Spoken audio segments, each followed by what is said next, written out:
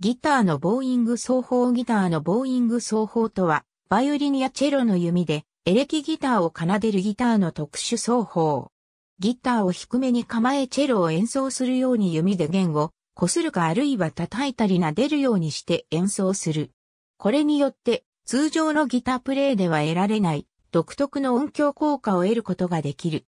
しかし、この奏法を使用することによって、バイオリンやチェロと似たような音を得られるわけではなく、弓そのものもギター演奏用に作られてはいないものなので、よほど繊細に弾かなければ、すぐに弓がダメになってしまう。安価な機材ではさながらガラスを吸っているような音しか発しないのも難点である。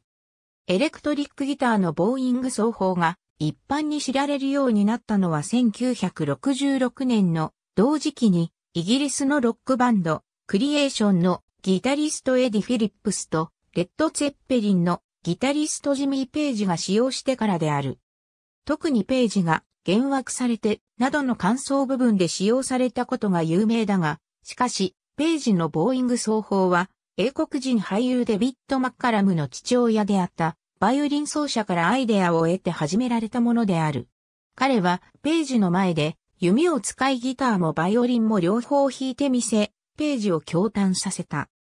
ページはパフォーマンス的音響効果の一部としてテルミンなどと共にこれを取り入れたが、アイスランドのロックバンド、シガー、ロスのボーカル兼、ギタリスト、ヨンシーがギターのボーイング奏法を前面に押し出した演奏を行い注目を集めた。ありがとうございます。